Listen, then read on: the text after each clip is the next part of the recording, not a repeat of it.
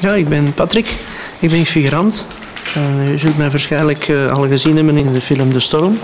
Uh, was ik in dat bootje daar achteraan in beeld. En ja, nu, nu met digitaal tv eh, kom ik scherper in beeld en herkennen de mensen mij op straat.